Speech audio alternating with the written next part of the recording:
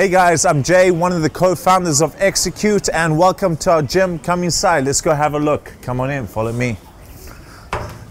So this is the entrance of exeQute. Over here at the back, we have our booster bar. The booster bar is where you hang out. In the corner there is beautiful Eliana, one of the other co-founders. Say hello. Hello.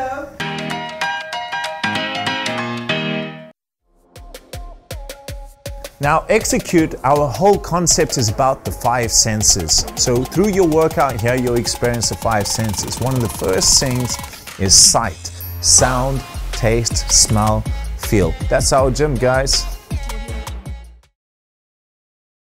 When we started the gym, we had a look at our business model and we said, what is our business model? Uh, because A, there's phase one, open the concept, test proof of concept.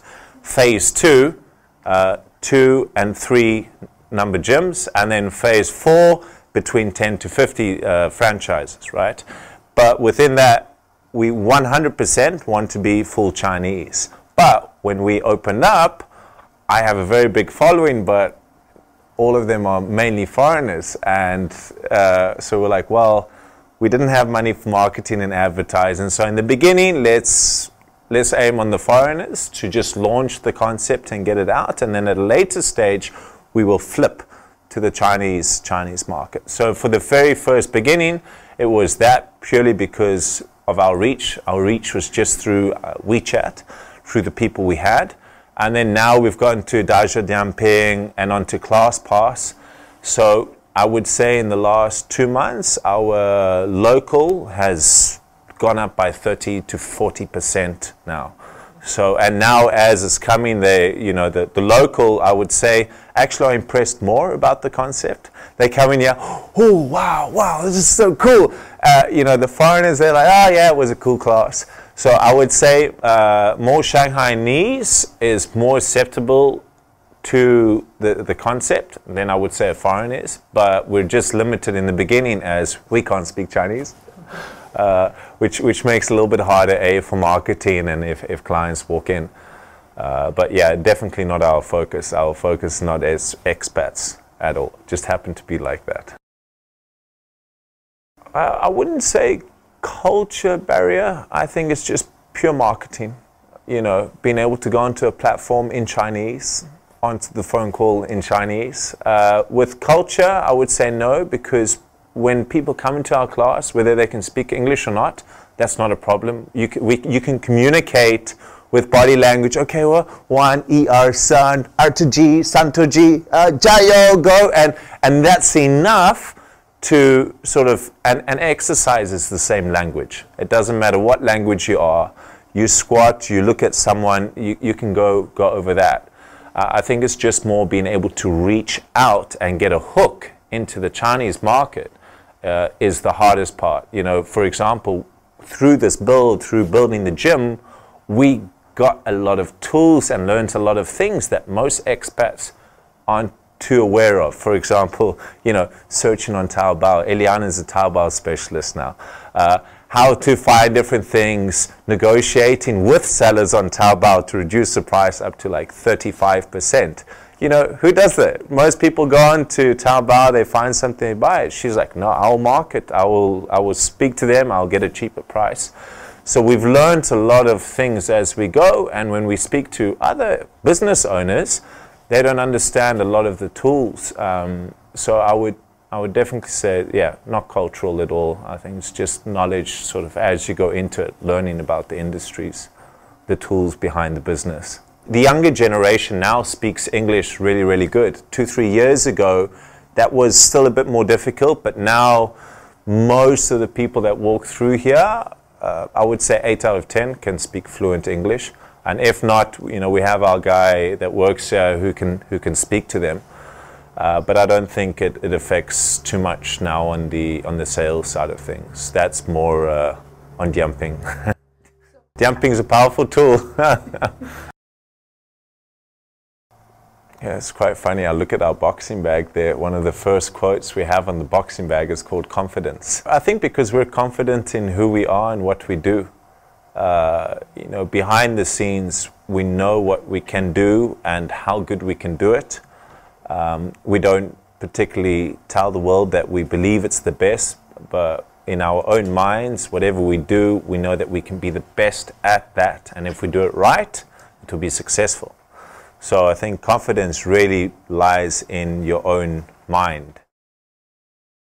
It actually all goes back down to confidence. We've sort of had a look at our thing. We've had about four or five investors approach us this year, different amounts as it's grown, and sort of we, we've evaluated the company if we had a big investment in the beginning, we would have been able to have done that, but wouldn't have learned the lessons and brought up the value of the company. So I think at a later stage, yeah, we definitely will look at investors, but only on a franchise point of view, not on actual exeQute. Uh, because if it's investment into exeQute, then when you franchise, I believe this is going to be a very successful franchise and we will have 50 locations within the next five years. So I always think of the bigger picture. If I want to go that big, how can I make this first scale as big as possible so that in the future the gains will be high? But also understanding an investor now could also help you get, even though maybe you bet half half a pie, half a pie if there's a hundred pies it's more than a full pie of one pie. Uh, so yeah, it's it's a very very grey area, um, but we sort of see as we go. But we really believe the concept can work and, and scale uh, if, if we do it right.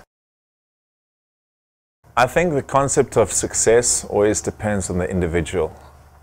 You know, I have a friend who's a multi, multi, multi, multi millionaire. Doesn't need to uh, doesn't need to work for the rest of his life, but he still opens up companies. And his his words are, uh, for me, success is about starting something and achieving a goal that I set. And for me, that's normally in numbers. Finances don't lie. If a company is successful, it shows.